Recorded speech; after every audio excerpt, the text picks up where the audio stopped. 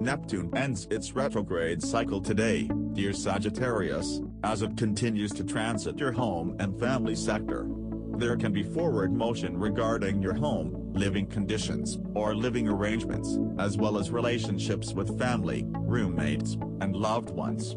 In the weeks ahead, you're less likely to procrastinate, particularly when it comes to taking care of family and home-related matters. The inner troubleshooting that you've done in recent months will begin to pay off as you regain some sense of direction and determination in the weeks ahead. You are reinvigorating dreams and plans now.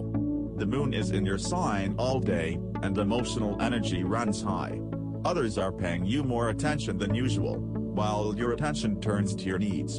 A Mercury-Neptune transit points to a hunch that falls into place and is confirmed or an idea that inspires you creativity, good love, good business, good.